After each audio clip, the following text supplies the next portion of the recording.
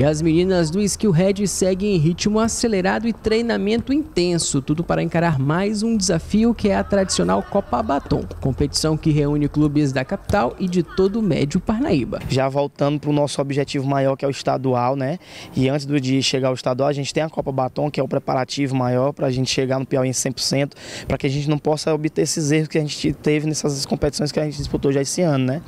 Então a gente buscou algumas peças também que a gente teve que repor, algumas algumas peças para que a gente possa suprir nossos erros, né? Que a gente por não ter conseguido ser campeão, algumas falhas, né? Então, graças a Deus a gente já conseguiu fazer dois amistosos. É, Quarta-feira a gente já tem outro amistoso já para já para a gente entrar 100% com a estreia, né? Com o pé direito na estreia na Copa Batom, onde a gente já tem um jogo já marcado, a gente joga domingo contra o Crack lá no Parentão. Então a gente já quer iniciar já na Copa Batom com o pé direito para a gente chegar 100% no campeonato estadual, né? Vindo de uma boa temporada temporada e tendo participado de quatro competições, o time que ficou entre os 16 melhores do Nordeste tem muito trabalho pela frente, já que ainda nesse segundo semestre encara ainda o campeonato piauiense. Trabalho tático, é, agora que a competição está chegando próximo, é, para poder a gente corrigir alguns erros, principalmente os nossos defensivos e o do ataque que a gente vem pecando muito na questão de finalizações e deixando muito a desejar na nossa equipe. Onde a gente tem muita pendência é, no ataque, meio campo e alguns jogadores também da defesa.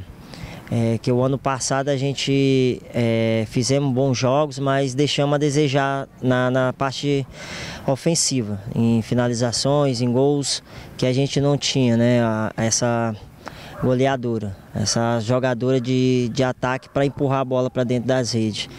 E hoje a gente já, já vem trazendo esses, essas meninas para poder corrigir com fé em Deus a gente sair com os resultados positivos na partida. E para fazer diferença dentro de campo, a equipe aposta mesmo em reforços como o atacante Laís, que veio do CSA, e da maranhense Nakayane, que até pouco tempo defendia a camisa das Panteras. Eu estou achando uma equipe muito boa, porque a maioria das meninas que eu já conheço como Nayara, a zagueira, como a Larissa, a meu campo e fora as outras, porque como eu já tive uma passagem do Lusaca da Bahia, aí eu já conheço, já me sinto em casa. Pode me esperar com velocidade, com drible, fazendo gol, que essa é minha função, fazer gol uma solução que está faltando nesse time é fazer gol e eu vim para fazer gol. Eu vou, vou para cima, vou para cima, é isso que eu quero. Jogar bem aí, ajudar a minha equipe a ganhar essa Copa Batom e também o Piauiense, se Deus quiser.